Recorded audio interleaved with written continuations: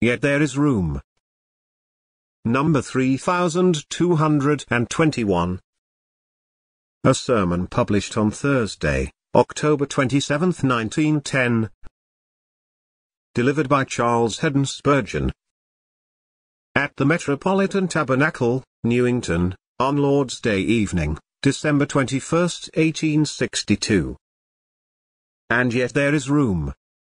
Luke 14, 22.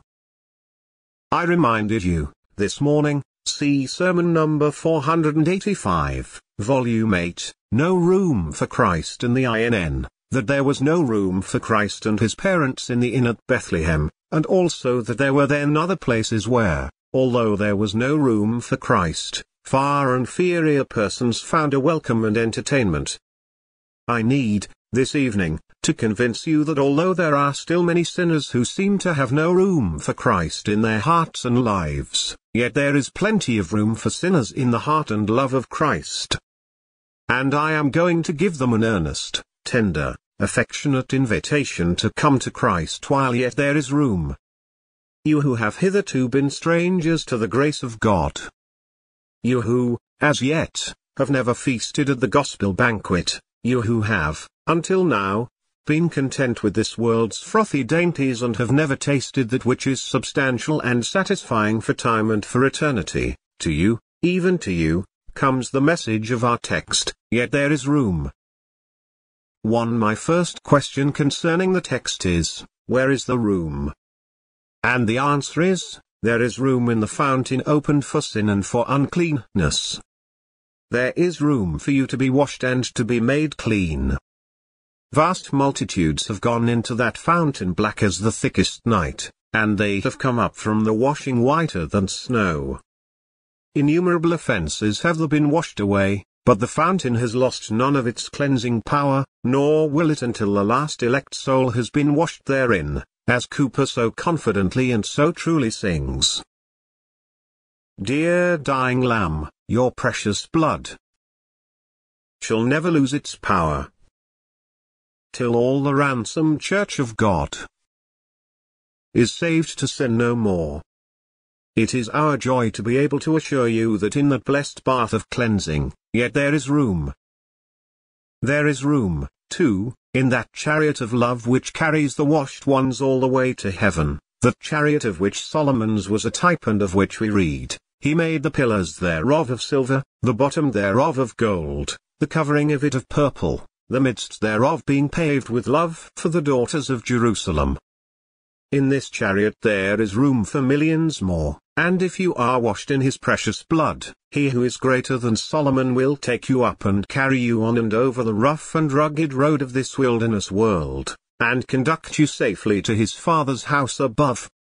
You shall travel joyously in the best of company, so enter while there is room, sinner, and there is room now, there is room, too, in the Father's great family. He has adopted an innumerable multitude of those who once were children of wrath and servants of Satan. He has selected some of the vilest of the sons and daughters of Adam, but they are washed, they are cleansed, they are regenerate and they have received the seal of their adoption into the family of God and are joyously crying, Abba, Father. But there is room for millions more in that great family. Earthly fathers, as a general rule, have no room for strangers in their home, the house is already crowded with their own boys and girls, so they cannot receive other people's children into their family. But there is still room in the great Father's heart for all who will come unto him by Jesus Christ, his Son. All whom he has chosen unto eternal life have not yet believed in Jesus and been sealed with that Holy Spirit of promise which is the earnest of our inheritance until the redemption of the purchased possession. All whom he intends to save have not yet been brought to recognize him as their Father and their God. So again I say that there is still room in the great Father's heart for all who will come unto him by Jesus Christ, his Son. There is room, too, in the visible church here below, we gladly welcome every new convert and we say to each one, Come in, you blessed of the Lord, stranger north O art thou? we welcome you with warm accord, our friend, our brother now. The Lord knows them that are his, but all that are the Lord's are not yet added to his visible church. Thousands of them stray in the paths of sin, millions of them are as yet like jewels hidden away in the mire, or pearls lying many fathoms deep in the caverns of the sea. There is still room for more stars in the diadem that adorn the brows of the church on earth. There is still room for more golden candlesticks to give her light. She still has room for many more children to be dandled on her knees and to suck at her breasts. Use whatever metaphor we may, we can still say, in the words of our text, yet there is room. There is room, too, in the ordinances of God's house. There is room for you, Christian brother or sister, in the liquid tomb which is the emblem of your Saviour's grave. You may be buried with him by baptism into death and rise from the baptistry in the likeness of his resurrection, therefore to walk with him in newness of life. There is room for you, too, at that communion table where, in eating bread and drinking wine, we spiritually eat Christ's flesh and drink his blood and so prove that he dwells in us and we dwell in him. There is room for you at the children's table, you will not overcrowd us, we are not like the elder brother who was jealous because the prodigal was welcomed back to his father's house and his father's table. We shall have none the less enjoyment, but all the more, if you will come and join us at the feast of love, there is abundant room for you there. Better, still, and more to your soul's solace, there is room for you in heaven. The long procession has been streaming through the gates of pearl from the day when Abel, the protomartyr, entered the heavenly city, until this very moment, as I am speaking to you. The last emancipated soul has just flapped its wings for joy, left its mortal cage behind and entered into everlasting liberty. The redeemed from among men have been taking their appointed places before the throne of God, waving their palms, wearing their crowns, playing their golden harps and singing their songs of victory. But there is still room in heaven for many more. There are crowns there without heads to wear them and harps without hands to play them, and mansions without tenants to inhabit them and streets of gold that shall have something lacking until you have trodden them, if you are one of the Lord's own people. There is room for multitudes whom God has chosen, to come to swell the hallelujah chorus of the skies. It is very sweet even now, but it has not yet reached its full force and grandeur, it needs to have 10,000 times 10,000 voices added to the already mighty choir, and then the glorious chorus shall roll up to the throne of God louder than the noise of many waters and as the voice of a great thunder, Hallelujah! Hallelujah! Hallelujah! For the Lord God omnipotent reigns. And he shall reign forever and ever. What a dreary message I would have to deliver if I had to tell you that there was no room. Let me give you one or two illustrations.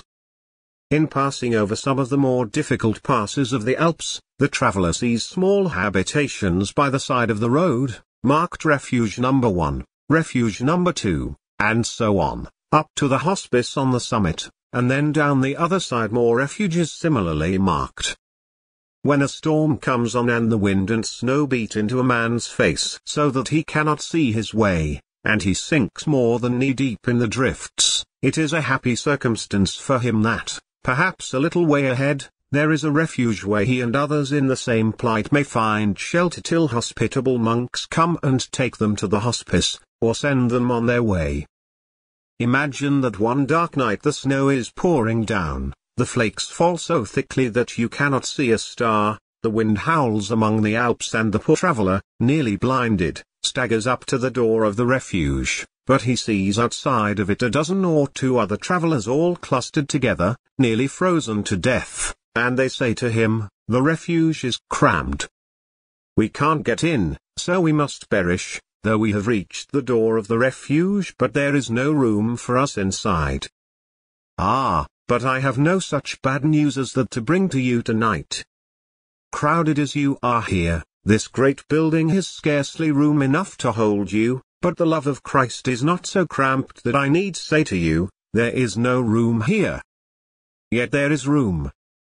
All who are inside the refuge are but a small number compared with those who are yet to come for, in later and brighter ages, of which this is but the dawn, we believe that conversion work will go on far more rapidly and that the Lord's elect will be brought to him in much greater numbers than in these days.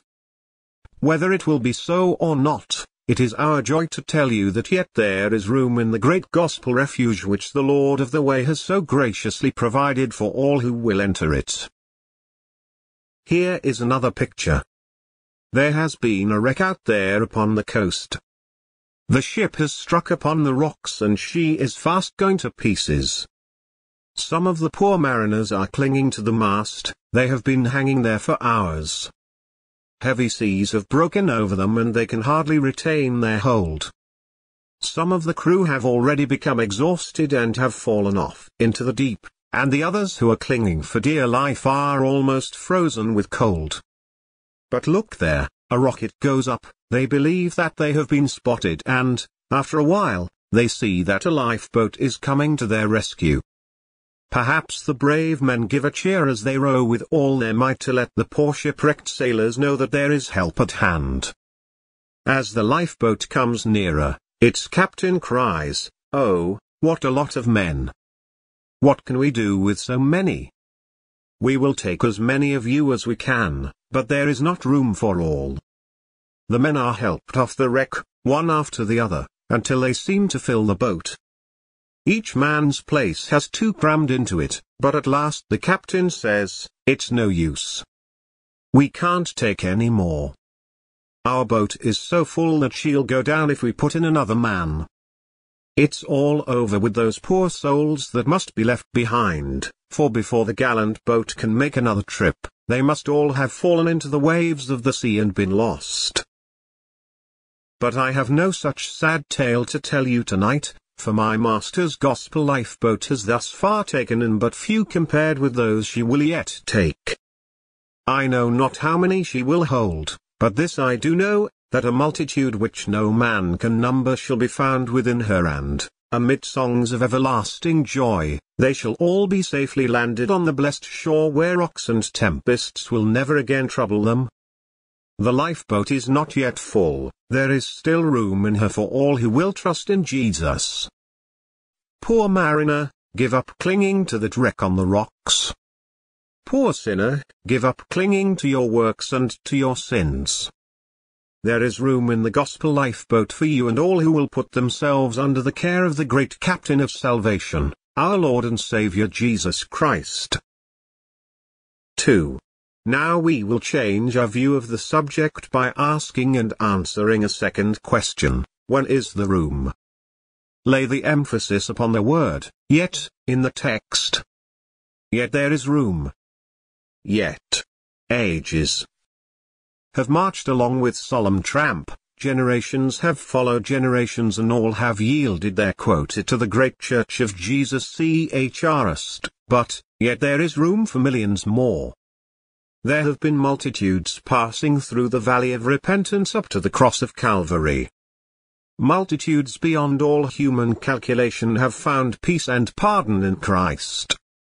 But, for all that, yet there is room, a few years ago the churches of our land, and especially the churches of Ireland, had a visitation of divine grace when many were converted to God. And in this church we have had a revival that has lasted all the years of our pastorate.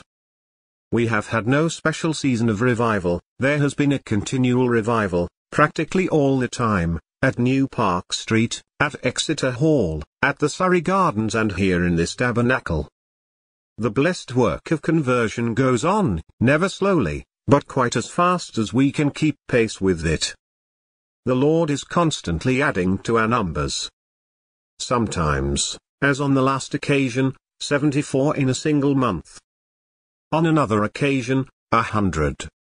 But we can still say, yet there is room, and if all the churches in London and throughout the whole kingdom were to be multiplied exceedingly, we feel that we could still come to our pulpits as revival years passed over us and say, yet there is room. Besides, sinner, you are getting old now. Those grey hairs tell a tale of years that have passed. Your youth fled long ago and your early manhood is now over. God knows how you have spent it, but you are here, tonight, like an old barren tree, almost ready for the everlasting burning unless sovereign grace shall save you even now. And I am here to tell you that yet there is room. How old are you? Are you sixty? Are you past seventy? Can you look back over eighty years? Are you getting close to ninety? Well, even then, yet there is room for you and if you had outnumbered the years of Moses, yes, and if you had lived as long as Methuselah lived, I would still say to you, yet there is room. Think, too, of the many times that you have rejected Christ. Again and again the invitations of the great giver of the gospel feast have been sent to you, but you have refused them all. Before I was born, some of you old people had many loving warnings and entreaties from godly ministers who have long since gone home. You were not altogether unmoved by your mother's prayers and your father's supplications, and now, in these latter times, it has pleased God to speak to you by one who is so much younger than you, in words that would burn if they could, coming as they do, red hot from a heart that is all on fire with love to your souls. My words have often reached your ears and have sometimes reached your consciences, too, yet the Lord knows how many vows have been made in this house and broken at the door, how many impressions have been made during the sermon, and obliterated before you have reached your homes. There are some of you who will find in me a swift witness against you at the bar of God. If you should say that you never heard the gospel, I will testify that you have heard it plainly and faithfully declared time after time. I have not preached as I wish I could, but you have always been able to understand my message. I have not sought to find gaudy words and polished periods with which I might tickle your ears. But in God's name, I have told you that unless you repent and believe, you shall surely perish. And I have preached to you the love of Jesus and pointed you to his wounds and bid you look unto him and live. Yet you have rejected every warning and every invitation that I have given you up till now. But, notwithstanding that, I am still sent to say to you, yet there is room, yet there is room, it may be that some of you have been adding sin to sin till you have now got to such a pitch as you never dreamed that you would reach. There is that young man over there in the gallery, who used to be at every prayer meeting and used to attend one of the Bible classes and all the services. You know, young man, to whom I am referring, that young man did run well, but he first went astray just a little bit and then still more, then he went from bad to worse and now he has gone to the worst of all. Let it never be told where it may reach his father's ears, what sin he has committed only this week. Ah, young man, if you had been told, even a little while ago, that you would sin thus, you would have said, as Hazael said to Elisha, but what? Is your servant a dog that he should do this great thing? You would not have believed yourself capable of falling so low as to commit the offense in which you have now indulged. And I venture to prophesy that although you think you have repented of it, you will return to it as the dog turns to his own vomit and as the sow that was washed returns to her wallowing in the mire. There are some sinners who never seem to be satisfied till they have gone to the full limit of their tether. They are like the waves of the sea that must keep on advancing until they have reached their flood tide and can go no further. Yet sinner, though all this is so terribly true of you, though you have gone as far as you can go in sin, yet there is room even for you in that cleansing fountain of which I spoke a few minutes ago. Probably I am addressing some who will never see another year roll over their heads. No, I may say that it is an absolute certainty concerning not merely one or two, but concerning many here present.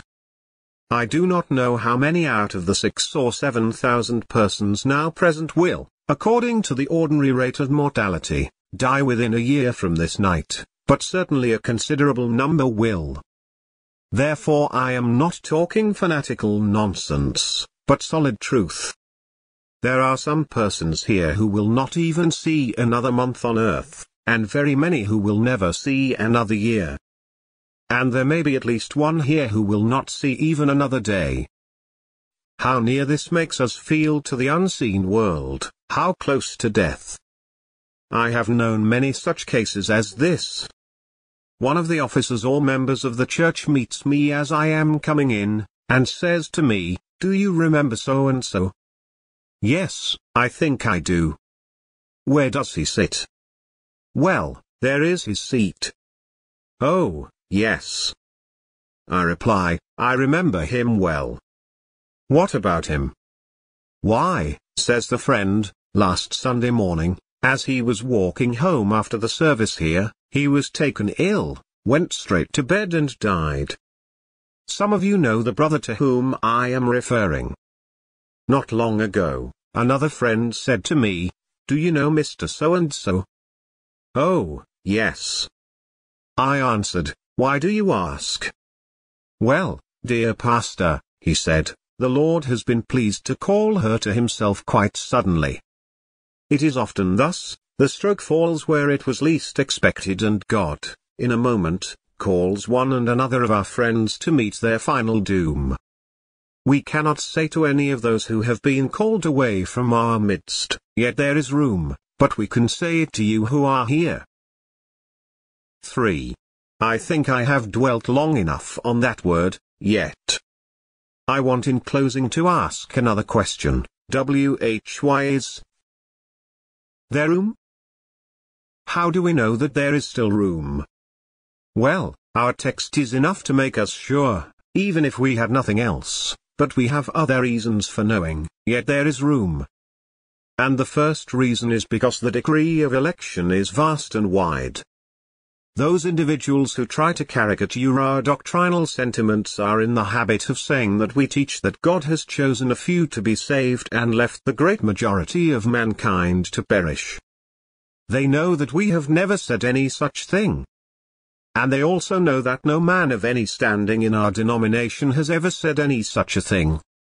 On the contrary, we believe that God has ordained a countless host, so numerous that no man can number it who shall be everlastingly saved. And we think we have some warrant for believing that the number of the saved will vastly exceed the number of the lost, that in all things Christ may have the preeminence. Certainly, whatever may be our opinion upon that matter, we rejoice that the lines of divine election are not narrow, that the chosen people of God are not a mere hand. Full and we believe that when the time comes for the great king to make up his jewels, it shall be found that the case contains such multitudes of them that they shall be beyond all human calculation. It is our joy to know that God has chosen a great host to be saved and, as they have not all been saved yet, it is clearly proved that, yet there is room. Again, we believe that Christ offered an infinite sacrifice for the redemption of his people. We cannot look at his blessed person as the God-man, Christ Jesus, without believing that the sufferings of such a substitute for sinners must have had an infinite value, so we are fully persuaded that no limit can be set to the merit of Christ's death, although we also believe that Christ had a definite purpose in his death which cannot be frustrated, and that this purpose was the salvation, not of all men, but of as many as his Father had given him, according to his own words, I lay down my life for the sheep. And according to Paul's words, Christ loved the church and gave himself for it. Yet so great a sacrifice as that of Christ could not have been offered without a great objective in view. In fact, he told his disciples that the Son of Man came dot dot dot to give his life or ransom for many. We therefore believe that in the great fold wherein the Good Shepherd preserves his blood-bought sheep, there is yet room for many more to enter. Further, we come to the same conclusion by considering the great design of God in the whole of his providential arrangements, in the permission of the fall and in the wondrous plan by which the fall, itself, is made to minister to God's glory by being a foil, a dark background, to set forth the brightness of the divine grace which delivers sinners from eternal ruin. We believe that the objective of the covenant of grace and of the plan of redemption so amazing as that which is revealed in the scriptures could not have been a small one.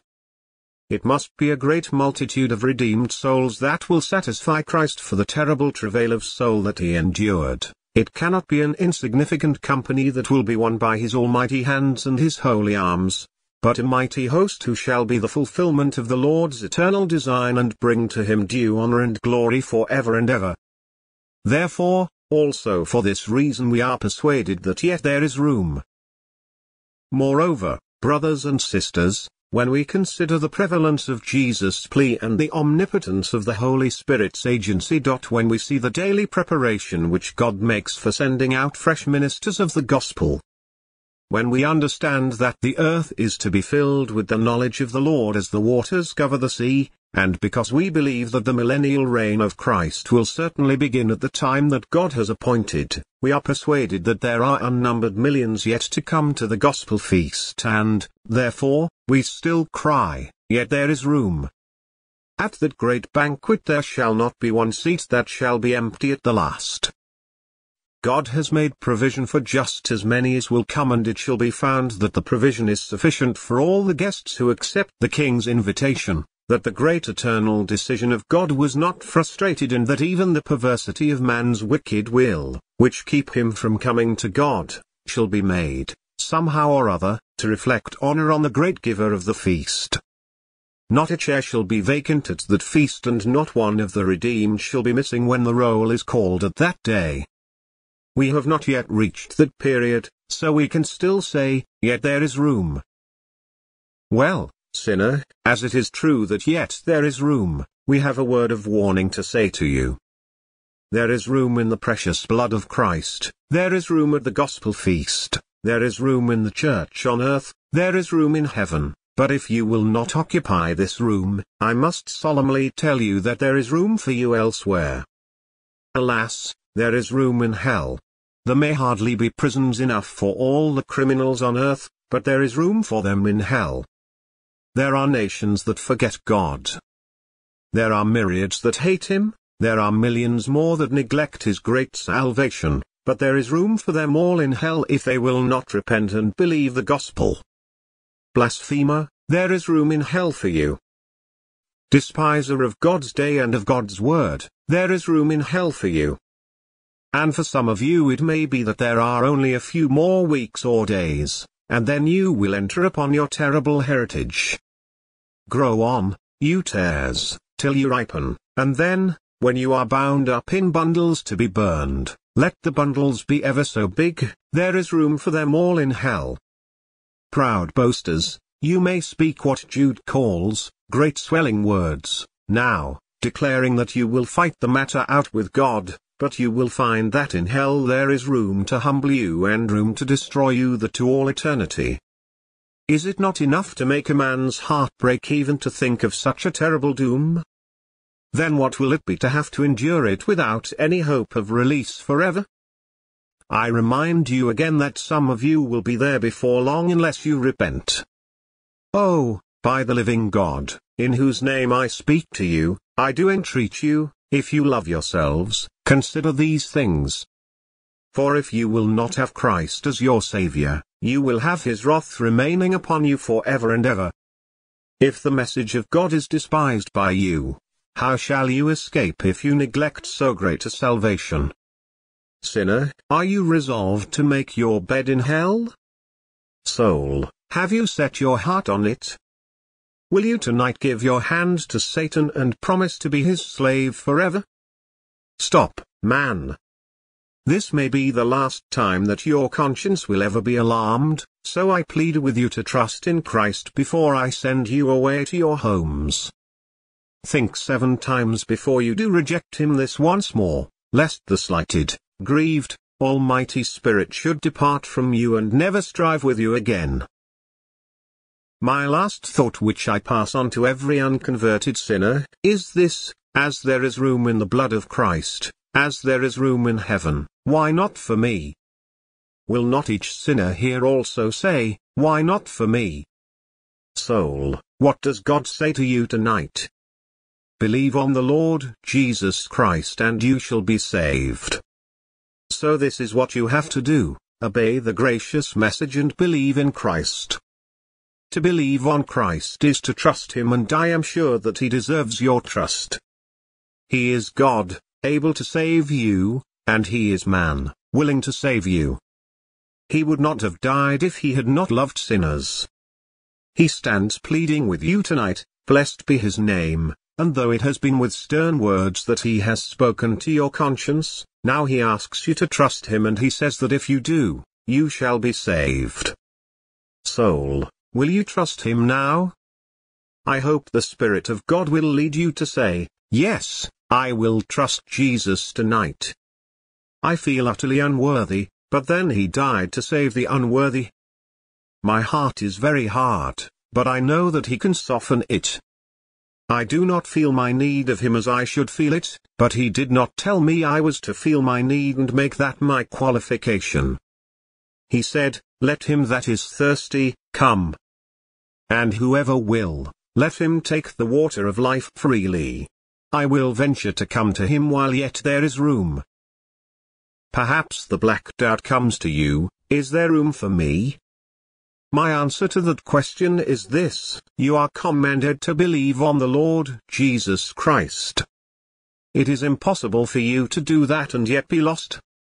You shall find that there is room for you room which no one but yourself can occupy, room in that kingdom of which Christ says that it was ordained for you before the foundation of the world.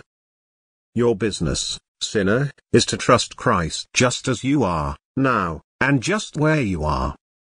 O my hearers, you whose souls are committed to my trust, I feel that I must have your souls for my master. He knows that I care for no wages but your immortal souls. He knows that if he denies me your souls, I shall feel that I have labored in vain and spent my strength for nothing. This year God has blessed the word to many, many hearts. Hardly a day has passed without someone being blessed and not a sermon have I preached in this tabernacle without hearing afterwards of conversions through it, and I sincerely trust that it may continue. Lord, speak to hearts that have resisted you until now. Sovereign grace, there is nothing that can stand against you, your goings forth are mighty and irresistible. You speak, and it is done, you command and it stands fast forever. Speak, Lord, and your servants shall hear and this night they shall say, We will come unto you while yet there is room. May God grant that many shall come to Jesus this very moment, for his dear name's sake. Amen.